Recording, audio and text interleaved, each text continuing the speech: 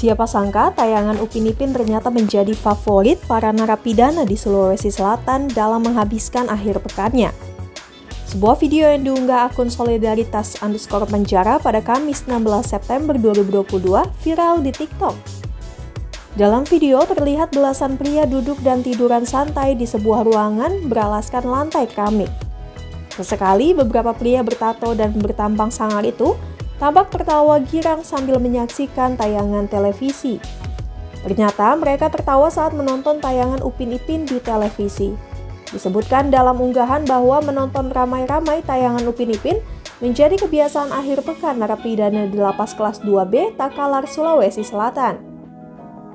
Video tersebut kemudian langsung viral dan disaksikan 13 juta pengguna TikTok. Netizen pun terharu melihat para narapidana itu hidup sederhana dan terlihat tetap mencoba bahagia meski di dalam jeruji besi. Netizen pun menduga beberapa pria tersebut ada yang merindukan anaknya yang kerap menyaksikan kartun Upin Ipin.